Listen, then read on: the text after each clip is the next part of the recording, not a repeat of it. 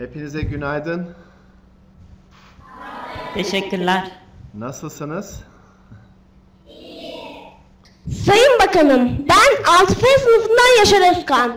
Öğretmenimiz bize bu projeyi anlattığında ben sizinle de görüşebileceğimizi söylemiştim. Arkadaşlarım da bana gülmüştü. Çok üzülmüş ve sizin bizimle konuşmayacağınızı düşünmüştüm. Öğretmenimize bu imkan hazırladığı için çok teşekkür ediyorum.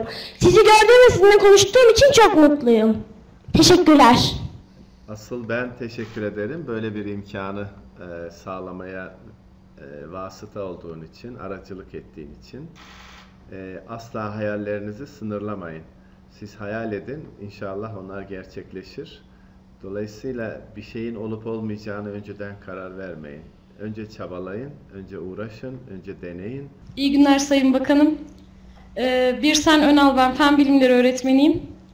Biz çok güzel bir ekibiz. Çok güzel işler yapıyoruz burada. Öğrencilerimizi de çok seviyoruz. Sizin bu du- duygunuz, düşünceleriniz bizi o kadar mutlu ediyor ki bu moraliniz, bu maneviyatınız olursa, bu e, motivasyonunuz olursa e, biz bunu gerçekten yaparız. Yeter ki çocuklarımızı sınırlamayalım.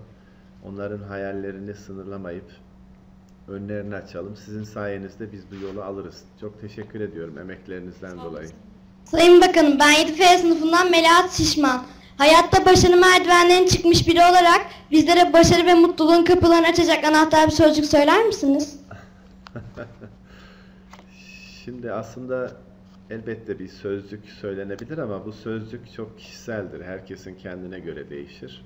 Eğer e, kendi hayatıma bakarsam da e, çalışmak, disiplinli olmak e, ve sevdiğim işlerle meşgul olmak. Benim üzerinde çok fazla durduğum kelimeler bunlar. Eğer sevdiğiniz işi yaparsanız hayat boyu çalışmamış olursunuz aslında.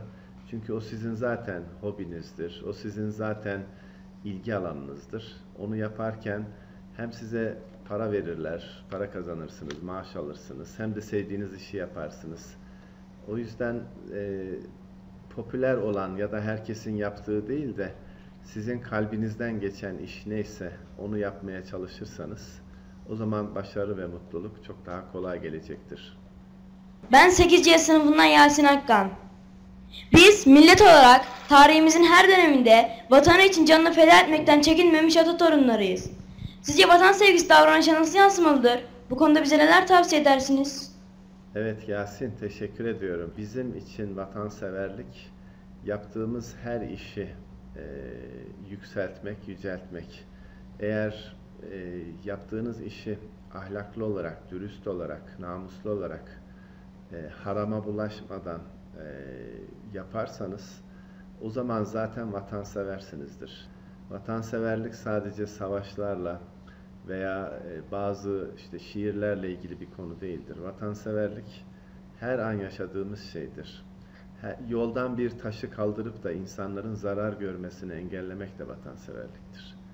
O sebeple siz sadece işinize yoğunlaşın. Siz sadece daha fazla çalışın. Sevdiğiniz işi özellikle belirlemeye çalışın.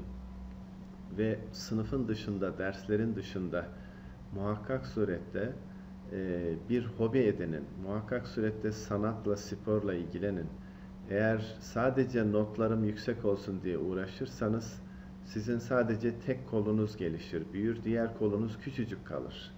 Çift kanatlı olmak istiyorsanız sanat ve sporla da uğraşacaksınız ve diğer matematik, fen, fizik vesaire, e, Türkçe gibi derslerle de uğraşacaksınız ama asıl insanı insan yapan değerler sanatın içinde, e, sporun içerisinde, hayatın içerisinde. Bu notlarınız düşük olur, yüksek olur, çalışırsınız, yükseltirsiniz, değiştirirsiniz.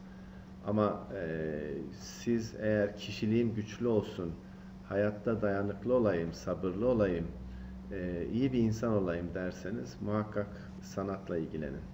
Sayın Bakanım, ben 5 kere sınıfından Ezel Eren. Çocukluğunuzda okuduğunuz ve sizi, derin, sizi derinden etkileyen bir kitap var mıdır? Ee, en çok etkilendiklerimden bir tanesi de birçok kişide olduğu gibi Küçük Prens kitabı. Küçük Prens kitabını hangi yaşta kim okursa okusun tekrar tekrar etkilenir ve her yaşın kendisine göre algılama biçimi olduğunu hisseder. Yani benim size bir tavsiyem olsa, tek bir tavsiye, çok kitap okuyun. Ben üniversite sınav sonuçlarını araştırdığımda şöyle bir şey görmüştüm. Çok fazla dershaneye giden, kursa giden ya da soru çözenler değil de çok kitap okuyanların başarılı olduğunu gördüm. O yüzden de kitap okumak anahtar e, iş diyebiliriz. Ailelerinize de bundan sonra size daha çok kitap almasını e, lütfen söyleyin. Ve yıl sonuna kadar bakalım ne kadar kitap okuyacaksınız. Kendi kendinizle yarışın, başkalarıyla yarışmayın. Ama asıl önemli olan e, okuduğunuz kitabı anlayarak okumanız. Artık siz dünya ile yarışıyorsunuz. İsparta ile yarışmıyorsunuz. Ya da arkadaşlarınızla yarışmıyorsunuz. Dünya ile yarışmak için e, sizin okulunuz ne yapabilir? E, bununla ilgili projeleriniz neler olabilir?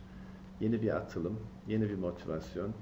Allah yolunuzu açık etsin. Sayın Bakanım vakit ayırdığınız için çok teşekkürler. Kolay gelsin. Allah'a emanet olun.